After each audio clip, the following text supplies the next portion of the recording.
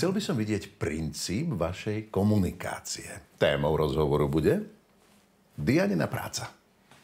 A ja tu nie som.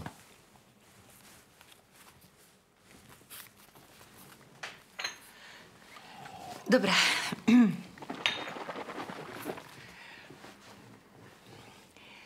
Cítim sa nedocenená.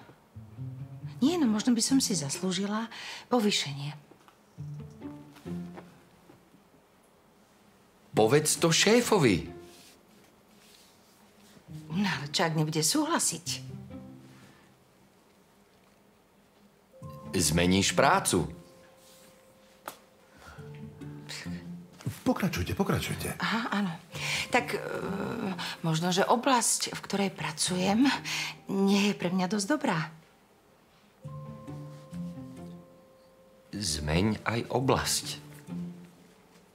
Ale ja nič iné neviem. Choď študovať. V mojom veku? Môžeš aj externe. Tak možno. A čo ak zistím, že doterajšia práca je pre mňa tá pravá? Tak ju nemeň. No vidíte, toto má vie vytočiť. Všetko je pre neho jasné, jednoznačné. Nie, všetko nie. Čo ti nie je jasné? Ako sa ti v hlave všetky tie myšlienky pospájajú dokopy.